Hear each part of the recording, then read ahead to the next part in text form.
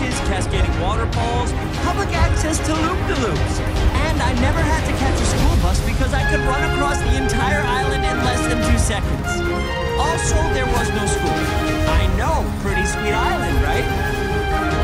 I was born with extraordinary powers and was told to keep them secret. And like any kid, I did the exact opposite. That's Longclaw. She took care of me. She was basically Obi-Wan Kenobi, if Obi-Wan Kenobi had a beak and ate mice. Sonic, someone could have seen you. No one saw me. I'm too fast. And I wanted to bring you this. Get down! Turns out with great power comes great power-hungry bad guys. And I led them right to us.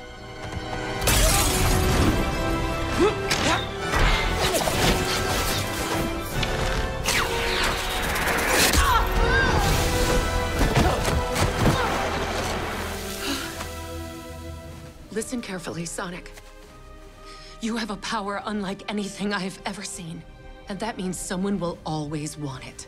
The only way to stay safe is to stay hidden.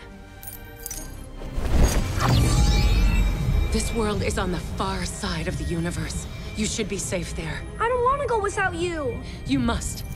These rings will be your most important possession. If you're ever discovered, use one. Never stop running. Now go!